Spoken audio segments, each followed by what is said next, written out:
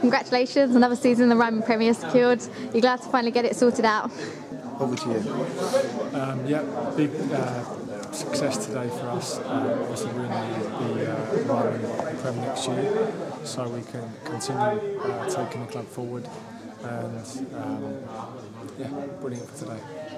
If we ignore the Hendon result, we've had some real highs over the last few weeks and really good results. You must be really proud, Dave. Yeah, we've done really well. You know, we're all really pleased. This is the best ever uh, Wingate have ever finished. Uh, it's really pleasing for the club. We have got another season. We've now got 53 points on the table. We've got two games where hopefully we can get some more points on the table.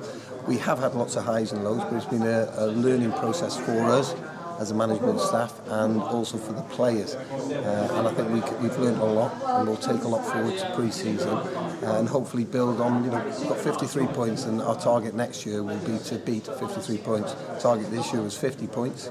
And uh, oh, so exceeded the target then? Yeah, yeah, we're, we're, we're very pleased on that. And we will be the first to admit our discipline and our attitude at times uh, sometimes let us down and I think we could easily have had another 12 points on the table, which would be uh, would be putting us in around 65 points. So you know we've got a lot to do during pre-season, but we've sort of started now.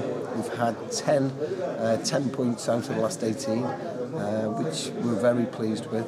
Um, and yeah, we'll, we'll continue to build the squad of players up and uh, hopefully build a platform for us next year. And Steve, how are you enjoying your time at the club so far? Obviously, just a recent recruit. Yeah, it's been um, so far. It's been great.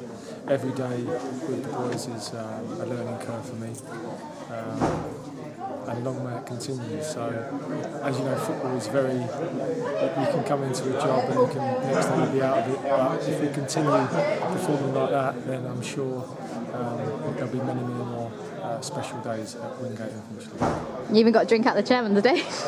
yeah, I believe you won on the horses. You know, I'm not a gambling man. You're not a gambling man. Nope. I would never. I'm not into gambling, but today was a very successful day for all, I think.